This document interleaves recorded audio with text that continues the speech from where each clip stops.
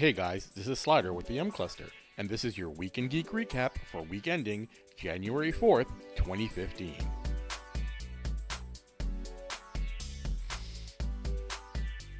When a group of orphan children are forced to move from their home in London, caretakers Eve and Jean bring everyone to the desolate and eerie British countryside.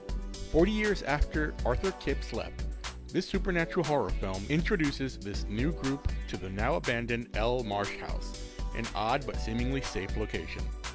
It isn't long before Eve starts to sense that this house is not what it appears to be as the children in her care begin to disappear.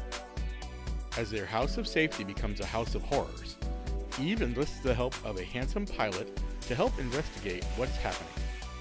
She soon discovers that it may not be a coincidence that she has come to reside in a house inhabited by the Woman in Black. Starring Phoebe Fox, Jeremy Irvine, Helen McCrory, this film is rated PG 13 for disturbing imagery.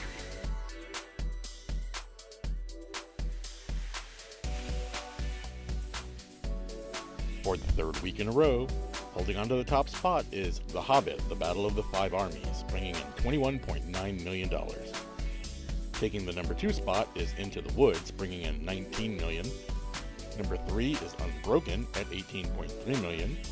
Number four, the newcomer The Woman in Black 2, Angel of Death, at 15.1 million. And rounding out the top five is Night at the Museum, Secret of the Tomb, bringing in $14.4 million.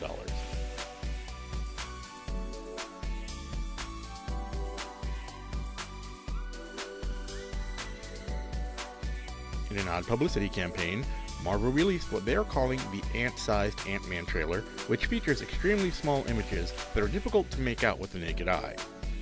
A human-sized trailer is set to release Tuesday during the premiere of Marvel's show Peggy Carter to air on ABC, no doubt to bring fans of the MCU to watch the show.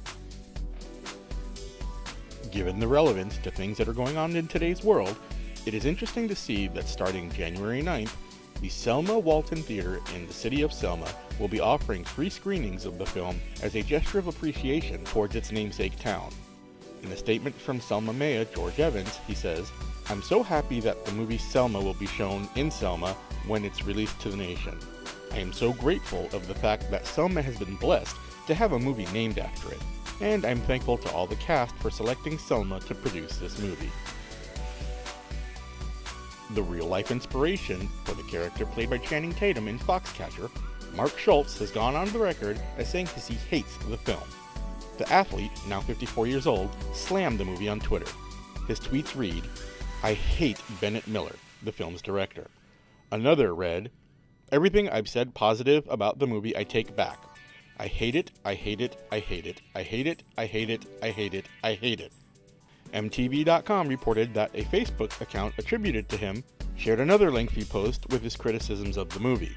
The movie doesn't show hardly any of my victories, it reads in part. It focuses on my losses. The personalities and the relationships between the characters in the film are primarily fiction.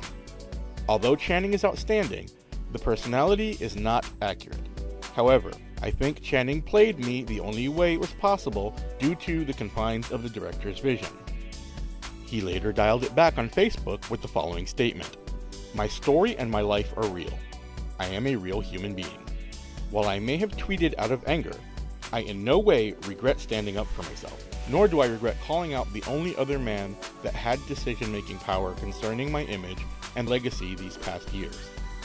I apologize for the harshness of my language, but I am firm in where I stand.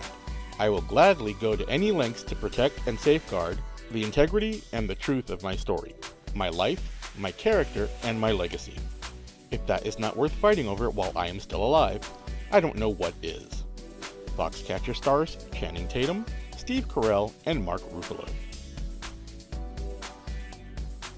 And that does it for this week's Week in Geek recap. Don't forget to subscribe and give us a thumbs up, and like us on our Facebook page, follow us on Twitter, and check us out on Google+. For last week's Week in Geek, click on the top corner. To check out some of our movie discussions, click to the right. And to see some of our comic shop discussions, click on the link below.